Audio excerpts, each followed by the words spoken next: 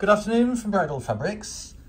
Today I want to introduce to a very lovely ivory tulle which has been lovingly decorated by these heart-shaped uh, flock areas. We've called it Valentine as a nod towards its romantic